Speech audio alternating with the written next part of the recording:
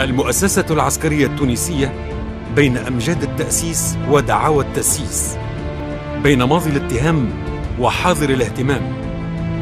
من الجيش سور للوطن إلى يحيى الجيش. متابعات تحت المجهر لتاريخ العسكر المنسي والتأريخ السياسي. من جيش الحياد إلى مطامح الاستبداد. مطارحات يتطرق لها ضيف متابعات عن قرب. النقيب البحري السابق الهادي الجرجاني.